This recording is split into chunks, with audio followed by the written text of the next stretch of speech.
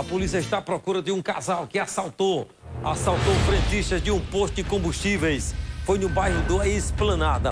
Tudo foi registrado pelas câmeras de segurança. Águia, atenção aqui na tela, Águia. Aqui. Cidade em ação, com Samuca Duarte.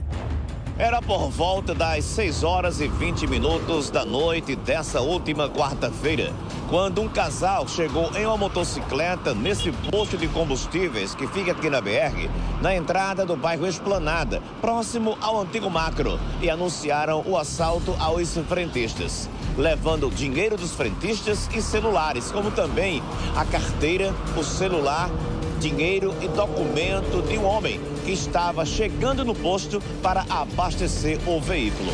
O casal fez a limpa e logo em seguida fugiram em alta velocidade.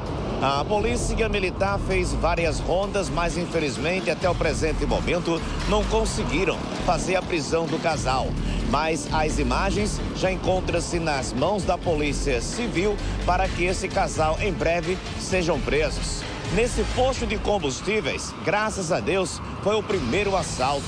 Mesmo assim, os frentistas ficaram nervosos e com medo de trabalhar. Mas infelizmente, eles têm que honrar a função, voltar ao trabalho e continuar a trabalhar, mesmo com medo de mais um assalto.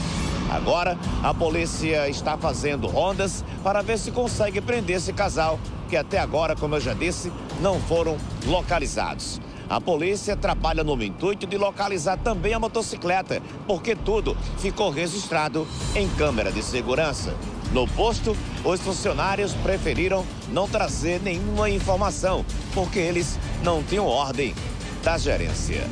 Com imagens de Berg Souza, repórter Águia, para a sua TV, Arapuã. É. Complicado, né? Eita, olha pra aí. Mas tá.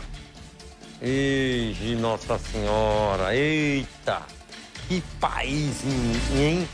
Ô país pra ter assaltante que eu nunca vi, mas assaltante de todo lado, né? Assaltante na política, assaltante assim, de todo jeito, onde o cara vai, né? Ave Maria, Jesus Cristo nos ajude.